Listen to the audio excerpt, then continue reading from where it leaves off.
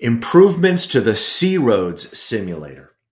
C-ROADS, of course, is the six region, three region, or one region simulator that is a companion to En-ROADS. You can change emissions in parts of the world, see the implications. It's now consistent with the baseline and the land features that are over in the En-ROADS simulator. If you want to read more about this, go read the article that is the companion to this video. We've made changes in two big areas that you should know about.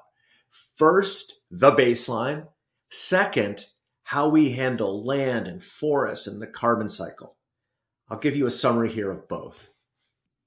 The biggest change, of course, is the temperature 3.3 degrees in 2100, not 3.6. As you'll see, this is almost entirely due to our decision to add what we call the economic damage function into C-ROADS. That is, as temperature goes up and we have more climate change impacts around the world, we're seeing GDP, gross world product uh, per capita, slowing in all of the regions in the world. In the simulator, that means temperature up, gross world product growth down. Let's go see where it shows up. On the left, I'm going to go under here and go to GDP, gross world product. You can see it growing steadily over time. I'll go in here and you can see the assumption under simulation, assumptions, scroll down to growth Climate change slows economic growth. The source is here. We're using the uh, estimate of the connection between temperature and gross world product growth as Burke et al. 2018 reference there. Go open it and check it out if you like. By hitting this button, you can turn off that function. Watch as I turn it off.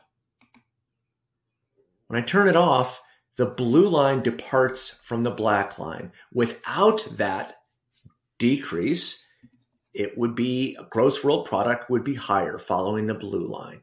If it grows more, that would mean, let me say it the other way.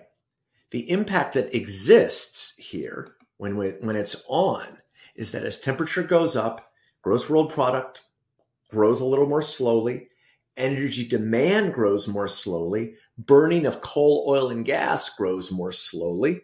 Therefore, emissions down from what they would have been otherwise, and temperature down, not at 3.5 with it off, but 3.3 with it on. This is the impact of the damage function. There's a whole nother video in the En-ROAD section about it and some of its implications. You might want to go and check it out. I'm going to undo these changes and explore land with the global orientation where we just have one region of the world. What we've done is that we have now modeled forest land, farmland, other land, and the movements of land in between. Plus, in the forest area, really explicit aging of forests through different stages of young, medium, and old, and connecting all of that to the carbon cycle. That is to the way that carbon and carbon dioxide move between atmosphere, biomass, oceans, and all of those shifts in between. The implication is that we can now track and more exactly land use emissions. I'll go to those in the top left here see the graph net emissions from land use. Several changes to this. First, it's a lot higher.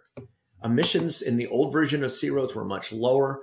We're now seeing and in the baseline are is more deforestation, therefore more emissions. We've also shifted bioenergy emissions from the overall energy sector, calling it really what we think it is, is land use emissions. So it's now part of this. The other big change is that when you prevent deforestation, you're also reducing degradation of land, not just affecting the quantity of forest land, but its quality.